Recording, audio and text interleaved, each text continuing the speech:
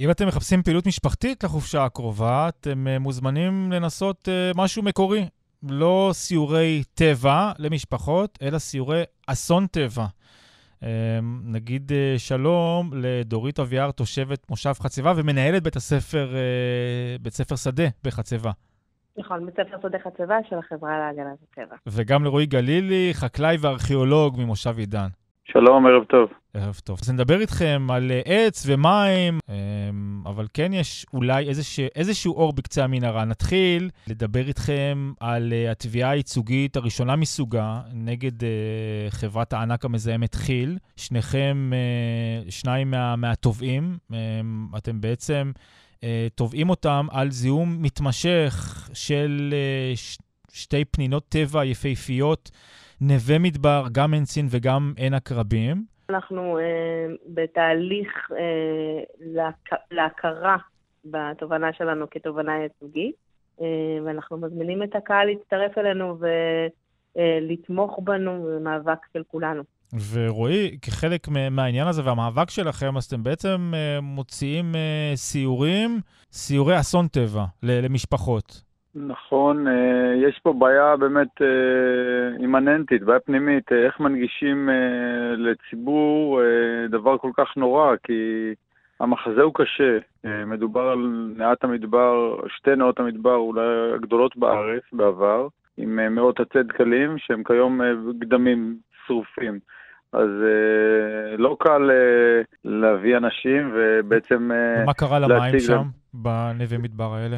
מה שקרה שבריכות הבוצה של הפוספטים, שהבוצה נוצרת בתהליך הזיקוק של הפוספטים, בריכות הבוצה לא דוקנו היטב כשהם אה, נבנו. לפני שנים רבות, ובמהלך עשרות שנים הם אה, חלחלו למי התהום, המליכו את, אה, את האקוויפר, את השכבה שעליה בעצם נקבים ומגיעים המים אל המעיינות. לימים, ממש לאחרונה, הסתבר לנו שהמים האלה לא רק מומלכים, אלא גם מזוהמים במתכות מאוד כבדות, מאמר שהתפרסם באופן די מפליא עבורנו. Mm-hmm. בכתב עת מאוד מוביל. ממש לאחרונה אה, נערך מחקר ממש על הסוגיה הזאת, על השאלה של איזה סוג של אה, מזהמים יש במים. והסתבר שיש בהם מזהמים קשים ביותר, חלקם אה, מתכות כבדות. גם חומרים רדיואקטיביים, הרבה מאוד מתכות כבדות, חומרים רעילים כמו אסן, מוליבידן, חום. זאת אומרת, מי, מי שחשב רואנו. שהוא מגיע אה, לנווה מדבר יפהפה, אה, למים זקים וטבעיים שככה מפקים באמצע המדבר ונכנס פנימה, אז בעצם טבל את עצמו, מה, בבריכה של מסרטנים? נכון. אה, אני לא יכול להגיד שהם אה, מסרטנים במגע, אבל אני יכול להגיד שלאורך זמן לבטח שכן. אני יכול להגיד שהסיכון הוא גבוה מאוד, גבוה כל כך, שהעובדה שמשרד ה... לאיכות הסביבה עד היום לא אה, הוציא הוראה חד משמעית לשלט ולמנוע כניסה של אנשים למים, היא בעיניי סוג של שיטת סמוך או הטלת אחריות, משהו שמקומו לא יכירנו מצדו של משרד ממשלתי. זאת אומרת, במקום אולי לעשות סוף לעניין הזה או לתבוע את האחראים, אז הם בעצם הסתפקו בלשים שם שלט, אסור להיכנס למים. אה, אגב, את השלט שמה רשות שמורות הטבע, רט"ג, רשות הטבע והגנים. גם, ואנחנו... גם גוף ממשלתי. כן, אבל אנחנו דווקא, אנחנו חושבים רשות הטבע והגנים בערנות רבה, מיד אחרי שפורסם המאמר, רשות הטבע והגנים שמה את השלט, היא לא חיכתה ולא השתהתה. הטענה שלנו היא לא כל כך מדברת. אבל היה צריך מאמר בשביל זה? לא היה, אי אפשר היה לראות ממש בעיניים? הסיירים שמגיעים לשם אה, כל יום זה התפקיד שלהם, לא יכלו לראות איך המקום הזה לאט-לאט אה, קמל והולך? א', אה, אתה קולע לנקודה מאוד, אה, שהיא גם מפליאה אותנו, כי גם אנחנו באיזשהו מקום מרגישים לפעמים קצת אחריות, אנחנו אומרים, למה אנחנו לא אה, התרענו וצעקנו עוד קודם לכן, ואני חושב שיש פה איזו תופעה שהיא קצת מאפיינת את התהליך הזה, שהוא שונה מאסונות אקולוגיים אחרים, כמו למשל אסון נחל אשלים, או האסון שהיה בעברון, האסונות אקולוגיים. Mm-hmm. מהבחינה שהוא מתרחש במשך עשרות שנים, והתמותה של המעיין מתרחש במשך עשרות שנים, ולכן במושגים של חיי אדם זה תקופת חיים ארוכה, אמנם במונחי אה, האקולוגיה והגיאולוגיה זה הרף עין, אבל mm-hmm. לנו לקח הרבה זמן, ופקחים התחלפו, ואנשים התחלפו. אני לא, אנחנו היום לא כל כך במקום שאנחנו מחפשים להאשים. כן. אנחנו מחפשים בחברת כי"ל למצוא את הפרטנרים, אבל משום מה, חברת כי"ל, שהיא אחראית לשיקום, לא מתחמקת מהתכולה של העיקרון הקלאסי של המזהם משלם. פשוט אז, אז לא בוא, רוצים בוא, לעזור. בואו אני אקריא לכם את התגובה של, שלהם, תגידו אם הם מתחמקים. מדובר בתביעה פופוליסטית שהוגשה לאחר שכבר היה ידוע לתובעים, לכם, על הפסקת הייצור באתר. האתר כבר אינו פעיל מזה למעלה משנה, ולא נשקפת ממנו כל סכנה לפי מיטב המומחים.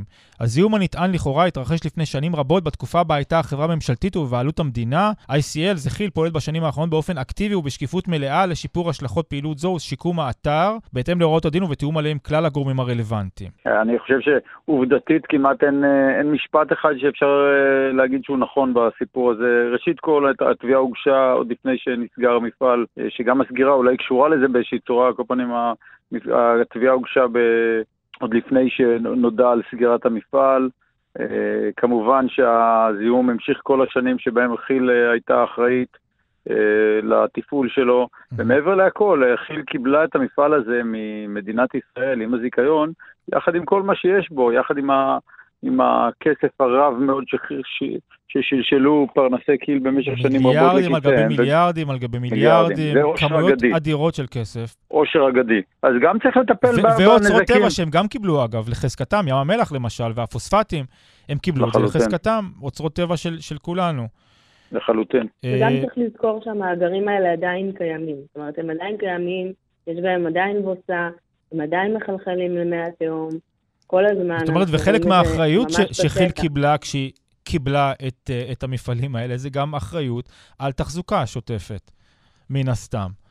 בדיוק. אה, אגב, בעצם לב העניין, החטא הקדמון של כל הסיפור הזה, זה בעצם שבריכות האלה נבנו לא על פי שום תקן. אנחנו היום חוששים, הגשנו גם בקשה לסעד זמני, אה, למנוע כרגע לטפל בבעיה עצמה, שאנחנו חושבים שהם יקרסו, אבל מעבר לעניין, לחשש מזה שהבריכות יקרסו, הם פשוט לא דופנו. הם לא דופנו במשך שנים, סתם בגלל קמצנות, בגלל אה, הסתכלות דרך החור של הגרוש. אילו הבריכות היו נבנות כמו שצריך, הן לא היו מחלחלות. כל האסון הזה מראש היה נמנע, כי"ל הייתה חוסכת כסף רב, אבל העיקרון של כי"ל הוא תמיד להשתדל ולא להיכנס לאבי הקורה, וזה גם מה שקורה עכשיו, ככל שיעבור יותר זמן, הליכי השיקום יהיו יותר יקרים, ובסוף אני מאוד מקווה שהם ייסעו בהם. אני מאמין שמדינת ישראל היא מדינה מספיק אה, ריבונית ומספיק סוברנית להחליט על, על, על מה, מה יעשה בשטחים שלה, שבסוף היא תבוא אליהם ותכריח אותם לשלם. טוב, הם מדברים פה על שיקום האתר, למרות שאומרים, זו לא אשמתנו. מצד אחד, זה התרחש לכאורה לפני שנים רבות, גם, גם הזיהום הנטען נטען לכאורה, זה אפילו לא ברור לכי"ל. אם יש זיהום או אין זיהום, זה עדיין לכאורה. טוענים שהוא התרחש לפני שנים רבות, אבל מצד שני מזכירים שהאתר לא פעיל מזה למעלה משנה, אז...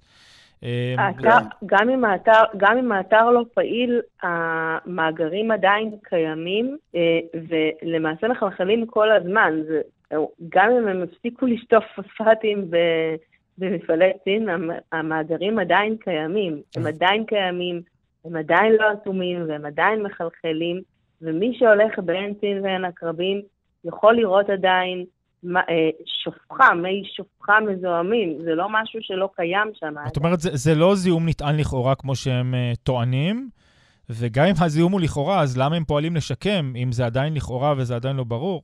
לא, לא ממש ברור. בדיוק. אנחנו, אני הצעתי בכל אופן לכי"ל אה, לשלוח את אחד המנהלים שלהם להתראיין, יש להם מערך של יחסי ציבור, וביקשתי uh, uh, מהדוברת שלהם איזשהו מרואיין, זה, זה לא ניתן עד עכשיו, אנחנו תמיד נהיה שמחים uh, לראיין מישהו מהם. אה, בפומבי, לא, לא בשיחות סגורות או באיזה שהן פגישות, אלא ממש ככה לראיין, כמו שאנחנו עושים איתכם ועוקבים אחרי הסיפור הזה כבר תקופה ארוכה. Uh, בכל אופן, זה, זה לא רק מאבק שלכם, דורית, אתם הצלחתם לגייס uh, uh, לא מעט uh, גופים אחרים. נכון, אנחנו uh, למעשה, פשוט זה מאבק של הציבור, אנחנו כולנו, ארבעתנו, אזרחי מדינת ישראל, ומייצגים את תושבי מדינת ישראל במאבק הזה. אה, לצידנו עומדים אה, גם החברה להגנת הטבע, מגמה ירוקה הצטרפו אלינו, אה, ואדם טבע ודין הצטרפו אלינו לטובת המאבק המשפטי, לצד העורכי דין המאוד מאוד מוצלחים שלנו. ואנחנו באמת מאמינים שבזכות זה אנחנו יכולים לנצח. זאת אומרת, אנחנו מרגישים שהציבור איתנו. אנחנו מרגישים שאנחנו מייצגים ציבור שנמאס לו, באמת נמאס לו. אה, מדינת חיל ובדרך שבה אה, מדינת ישראל נותנת להם מתנות בחינם ולא אה, עוצרת אותם מלהרוס את נכסי טבע של כולנו. כן, אז הזכרת מדינת חיל, אז נזמין שוב את המאזינים שלנו לצפות בסדרת הכתבות המצוינת של אורן אהרוני בכאן 11. חפשו את זה, ב... חפשו את זה ביוטיוב. אנחנו רדיו, אז רק שומעים, אבל שם גם ממש ממש רואים. אנחנו נמשיך לעקוב, רועי גלילי ודורית אביאר, אה, לוחמי סביבה, נוסף על כל העיסוקים שלכם. ממש לסיום, דורית.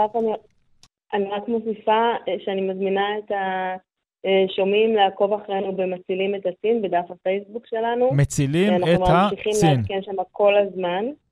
מצילים את הסין.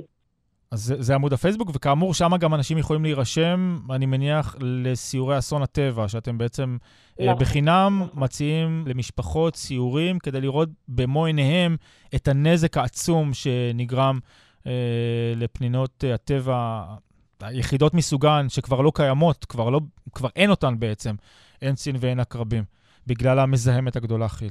תודה רבה לשניכם. תודה לך, תודה רבה.